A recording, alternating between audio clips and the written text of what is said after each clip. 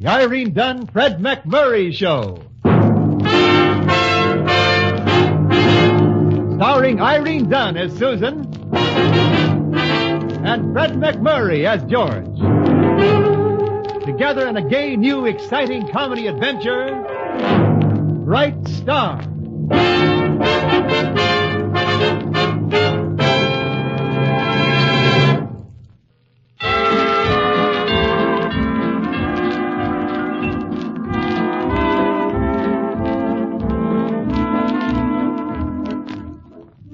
Irene Dunne Fred MacMurray Show, starring Irene Dunne as Susan Armstrong, owner and editor of the Hillsdale Morning Star, and Fred MacMurray as George Harvey, Susan's ace reporter.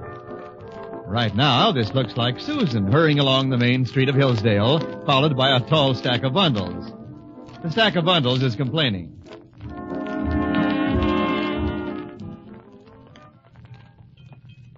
Susan, do you have to walk quite this fast? Can't you keep up, George? Yeah, I can keep up fine, but some of the packages are falling behind. Well, I didn't ask you to come, you know. I told you I was going shopping, and you said you'd like to go along. I know, I know. But I was younger then and more foolish. Well, I'm almost through, George. Oh, so am I. Can I put these packages down for just a minute? You know, you really should give up late hours. I don't feel tired at all. There's an answer to that, but it would sever our friendship forever. Susan, Yes. I uh, I know it's merely because I'm a stupid male, but would you mind explaining this mad shopping spree in simple terms? I told you, George. Emily is coming tomorrow, Oh, yeah. and the house is simply a wreck. I hadn't realized how I'd let it run down till I got Emily's wire. Uh, how old is this, Emily? Uh, 10, 12, 13? Well, I really don't remember. But that isn't the point. I just couldn't let her see the house without fixing it up. She's never seen it before. Oh, that makes all the difference. So just because your third cousin, who... Second cousin once removed, I think. Well, pardon me, your second cousin once removed, whom you have never seen, suddenly decides to visit you, you'll have to dash through the stores of Hillsdale like Paul Revere using me as a truck horse. I think that's a mixed metaphor. I don't doubt it in the least. Now, Susan... Look, if- George, look! Uh, Where? What happened? That cute little play suit in the window. Oh. Wouldn't it be wonderful for Emily? Well, how do I know? I don't know if Emily is 20 pounds or 200, or if she has red hair and green eyes or green hair and red eyes. Neither do you. I think it'd be a little foolish to think of buying her a place. Come on, George. Pick up the packages. Pick up the packages. Well, Hurry up, George. You know, I'll never be able to understand why men don't like to shop.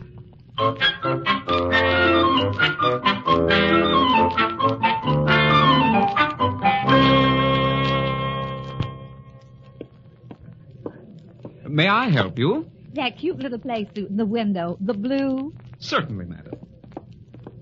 Here we are, right over here. Come on, George. Uh, For yourself? No, my cousin Emily. Mm, uh, w- w- would you put down the packages and hold it up to you, George, so I can get an idea about the color? certainly be glad to. Here you are, sir. Thanks very much. Well, how's the color, right?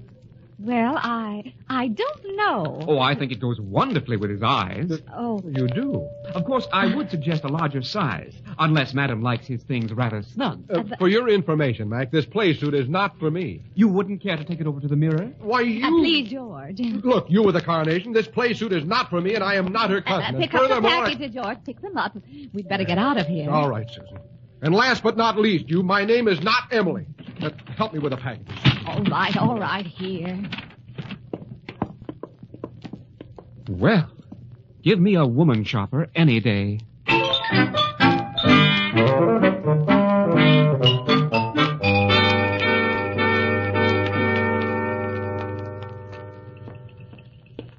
Got anything for the composing room, Mr. Harvey? Business is at a complete standstill today, Sammy. Emily is coming to town. Who's Emily?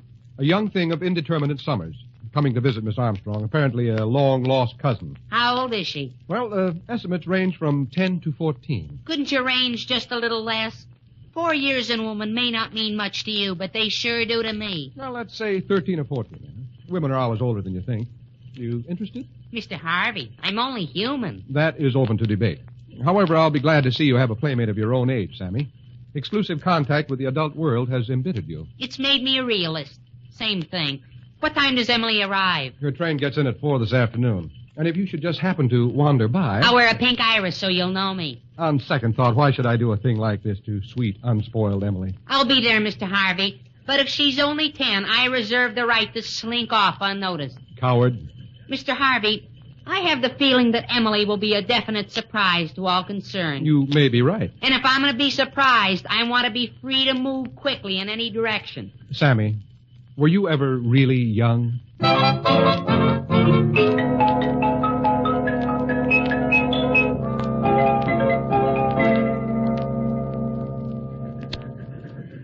here it is, George. Isn't it exciting? A cousin I've never seen before. What made her decide to come and see you, Susan? Well, I always say that on my Christmas cards to my relatives. Come and see me. Well, that's a dangerous practice. Oh, don't be cynical, George. I just wish I could remember if Emily is 10 or 14. Well, we'll soon find out. Do you see her, George? I don't see any little girl getting off to you. No, maybe she missed the train. Oh, no, don't say that after I've looked forward to seeing her. Well, oh, dear, what do you think could have happened, George? You don't see her, do you? No, only one girl got off, and she definitely is not a little girl. Where? Oh, oh, yes, I see what you mean. Why don't you have cousins like that, Susan? Well, I wonder where she could have gotten. Susan? George, that that girl who just got off, that couldn't be little Emily. Ten years old, huh? well, they're doing some wonderful things with vitamins these days. Oh, I just know you're Cousin Susan. I'd know you anywhere. Mother has a picture. I know you just think I'm terrible landing in on you like this, but I just didn't know what else to do. You understand, don't you? I just thought you'd be a. l- You are Emily. You thought I'd be younger. Nobody, just nobody accepts the fact that I've grown up. Nobody. I, uh, I think I accept it. Oh, Emily, this is George Harvey, a reporter on the paper. Well, it's awfully nice to know you, Mr. Harvey. Isn't it? I mean, it's it's, it's awfully nice to know you. Stop wagging your tail, George. Um, your your parents, they're well, Emily? Oh, perfectly. Oh, but you mustn't write or phone them because he might be watching the house or tapping the wires or something. he? Who? Earl. Earl Santee. He's a gangster. He's a very successful gangster and so handsome. He's even been on television. You mean you mean you're a witness to something this gangster did? How awful. Oh, I just wish it was that simple. Really, I do. Then it would be just a sudden flame spurting out of the darkness. Perhaps my life flashing before my eyes for the final time. And then it would be over. That sounds pretty complicated to me. Oh, it's much worse, much. worse. Well, it was just that at first he seemed glamorous. His convertible and being on television. And I only saw him a couple of times, and I never dreamed that he. Well, you know, chemistry. Chemistry? Well, suddenly he just ignited. I didn't do a thing. You're sure you didn't strike a match? Oh, he was like one gone mad. Swore that if he couldn't have me, no one else would, and made all kinds of threats, and I was simply terrified, and well, here I am. Oh, it must be wonderful to have someone strong and capable to turn to like Mr. Harvey. Emily, I want you to know that you can count on me. Well, that solves everything. Did you get here yet, Mr. Harvey? I got held up at the office and I. This is Emily? Uh, Sammy. Just what I always wanted. A playmate my own age. Uh, Sammy, uh, step aside with me, will you please? We are faced with a complex problem here, Sammy, to which you are not the answer. There's no time for play. Uh, just continue to warm up on the sidelines about uh, four or five years. I gotta wait four or five years. You know, I think it's worth it.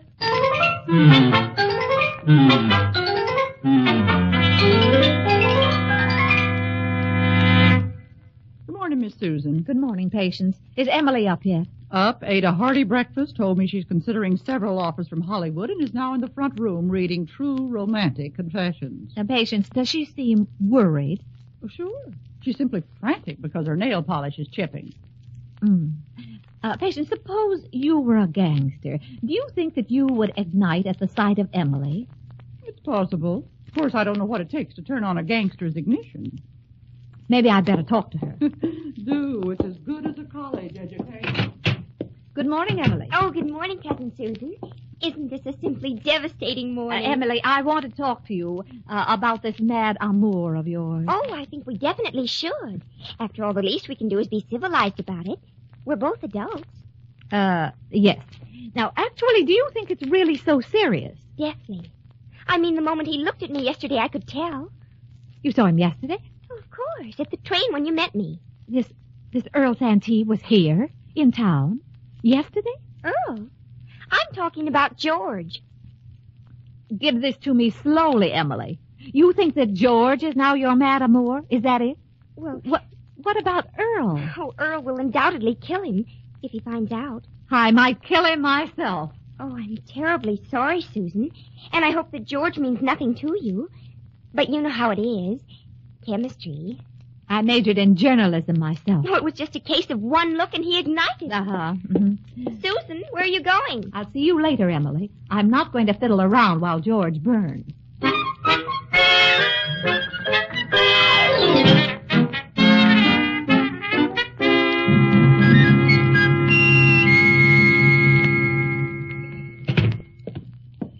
Good morning, Susan. Well, how's little cousin Emily this morning? Moldering at home. He's quite a girl, Emily, quite a girl. I don't know when I've seen anyone who was so loaded with, with the. yes? yes, sir, quite a girl.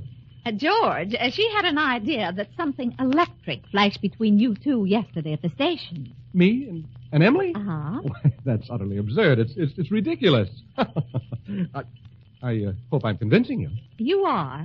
Only because I know you're not that fast a worker. You know the trouble with her, Susan.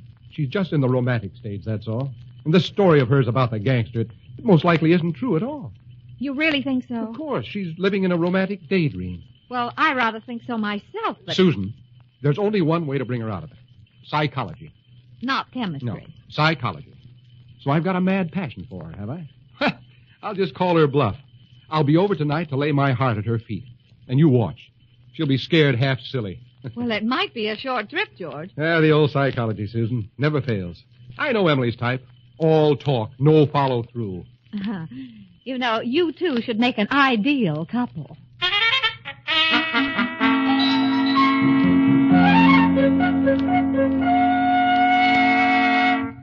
Well, where's Emily, Susan? In the other room, ready and waiting. Want me to stand by with the fire extinguisher? Don't be silly. The old psychology, Susan. This won't take more than a minute. Neither does going over Niagara Falls in a barrel. Well, good luck, Valentino. Uh, Emily? Why, George. Are you looking for Cousin Susan? No, Emily.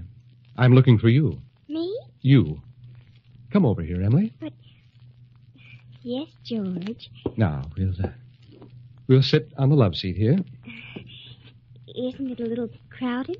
I want you close to me. Oh, Emily, do you believe in passion ignited at a mere glance?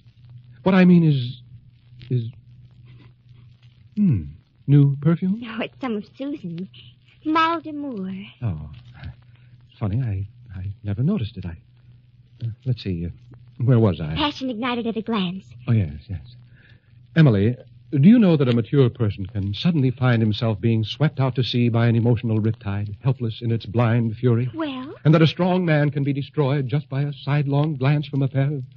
of, hmm, blue eyes? are you sure you have enough room, George? Oh, plenty. I'm, I'm just twitching because my leg's going to sleep. Uh, where was I? Someone caught in a riptide. Right. You're right. Emily, I have come to say goodbye. I'm afraid that if we see each other just once again, I won't be responsible for what may happen. I think that yesterday we both knew that, well, today it's all I can do to keep myself in check. Emily, it's bigger than both of us. Oh, yes, George, yes. Uh, what? Definitely. Absolutely. Positively bigger than both of us. Oh, isn't it simply terrifying? Oh, well, Emily, Caught what... in a riptide, you said, powerless to struggle. Yes, oh, how but- positively true. But, Emily, I- Holding fast to each other, we'll be swept out to sea together. Oh, well, Emily. Oh, we can't fight against it, George. We're caught in its mighty grasp. Uh, Susan. George, isn't it just too terribly wonderful? Uh, Susan. Susan, help! Throw me a life preserver.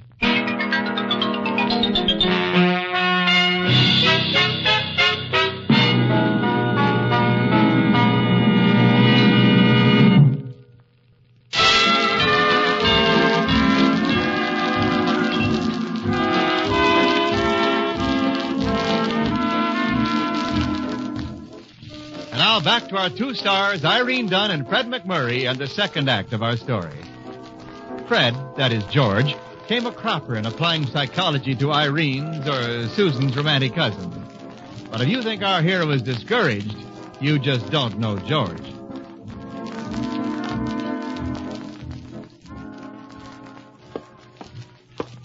Good morning, Mr. Harvey. Hi, Sammy. How's the boy? Not bad. How's the famous psychologist? Who told you? And what did they tell you? I asked Miss Armstrong this morning how her cousin was, and she said you were using psychology on her. Oh, that's all? Sure. How did it turn out? Uh, never use psychology on a woman, Sammy. It's wasted on them. Absolutely wasted. What should you use? Well, you can. Uh, as soon as I find out, I'll let you know. I don't think I can wait that long. Miss Armstrong wants to see you in her office. Uh, Emily isn't with her. No such luck. Good. Then I'll go in. Mr. Harvey, you know, your whole personality problem might be based on bad eyesight.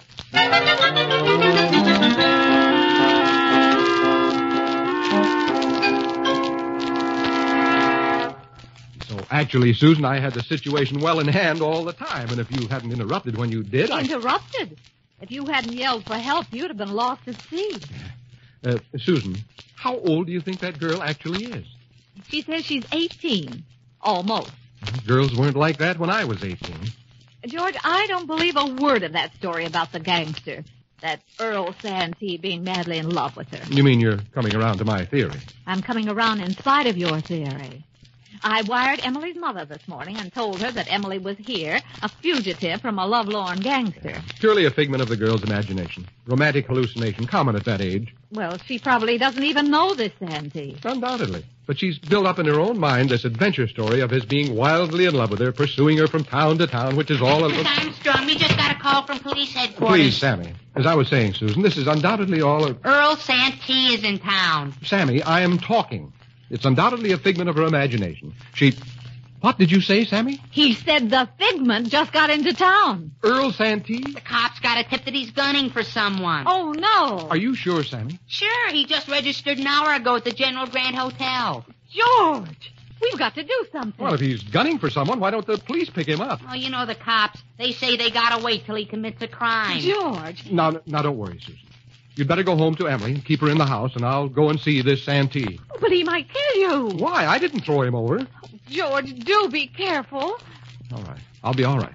And Susan, Emily will be as safe as if she were in her own home. With uh, Emily, I guess that's not saying much.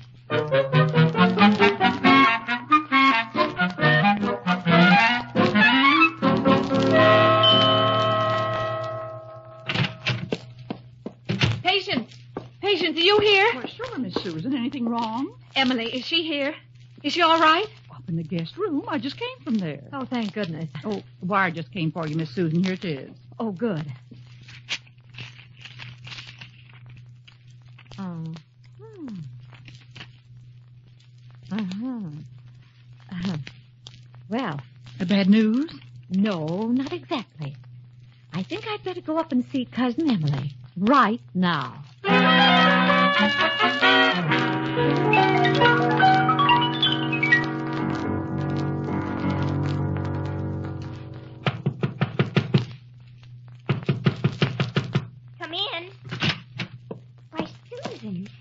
You were at the paper. I came home to protect you. Emily, Earl Santee's in town, gunning for you. Earl Santee? Oh, but he simply couldn't be. I, I mean, You shouldn't have ignited him with a careless glance, Emily. but I. Is that a telegram? From Mother? It is. Maybe I'd better read it to you. Last year, Clark Gable wanted to drag Emily off with him to Hollywood. Year before, Aly Khan beseeched her to fly with him to India, all according to Emily. She has never met Earl Santee. Please send her home at once. Incidentally, she is 16, not 18. Well, Emily, I'm practically 17. Do you realize that because of your fantasies, somebody might get hurt? George Harvey went down to call on this Earl Santee about you, and I just hope he doesn't say the wrong thing. But I didn't mean to do any harm, Cousin Susan, honestly. It was just that I didn't have any boy of my own age to go around with, and I simply couldn't admit it. And so I. And I always did want to meet you. Flattery will get you nowhere. Oh, but I.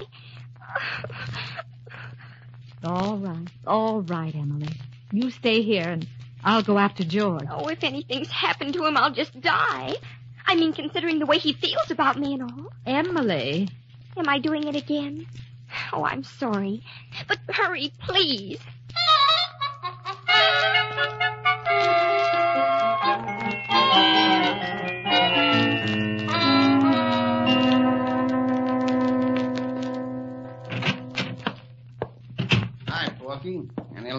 I didn't find Gert yet.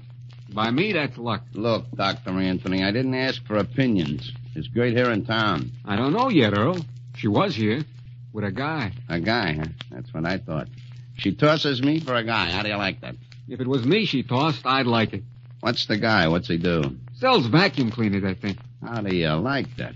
Tosses Earl Santee, public enemy number 34, for a vacuum cleaner. This could give me a complex. I think you got one. Why don't we just train out of here for Chicago, Earl? First, I gotta plug this guy. Why? For Gert? Why, she's strictly expendable. Not for her, Porky, for my reputation. Suppose I get a classy girl. Everybody'd be taking her away from me.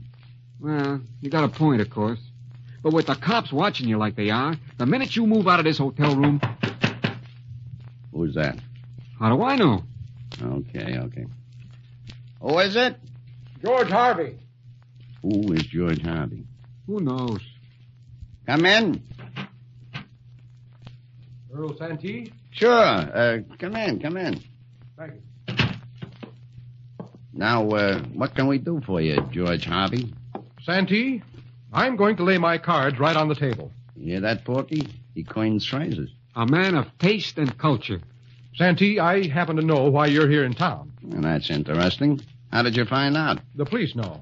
And on top of that, she told me. She told you. You hear that, Porky? Now, wait, Earl.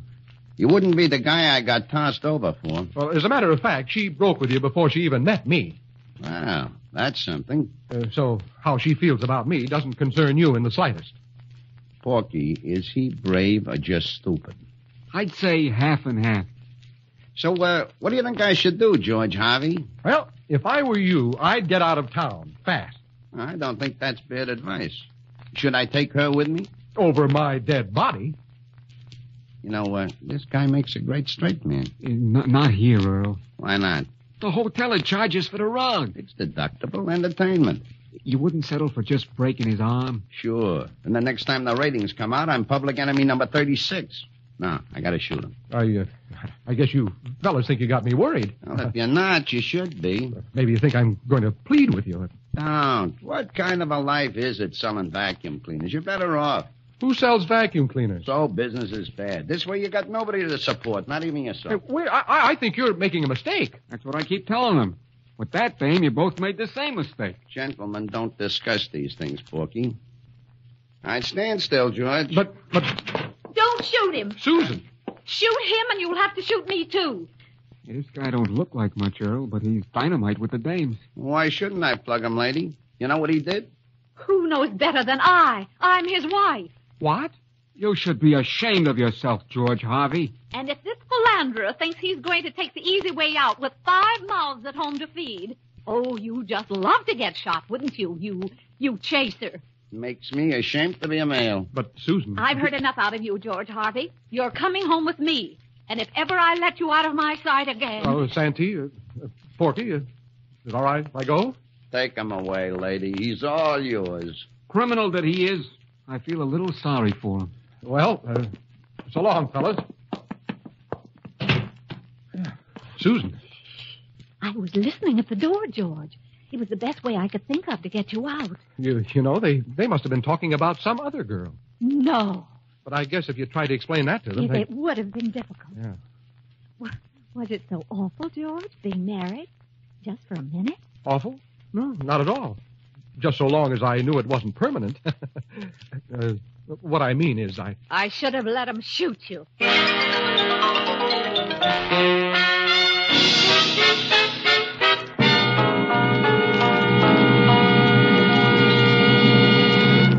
Our stars, Irene Dunne and Fred MacMurray, will return in just a moment.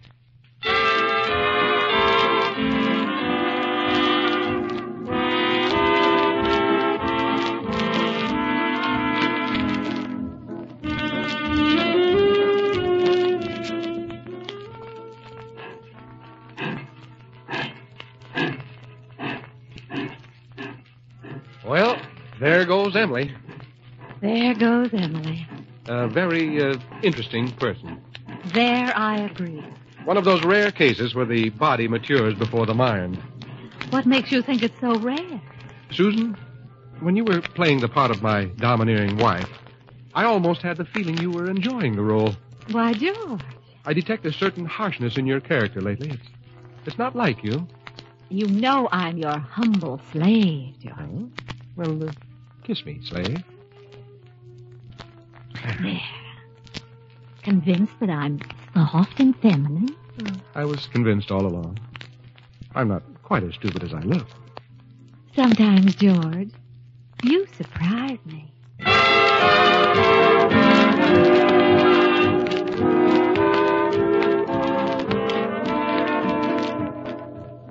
Irene Dunne and Fred MacMurray will be back next week in another exciting comedy adventure in the gay new series, Bright Star. This is Wendell Niles inviting you to join us then.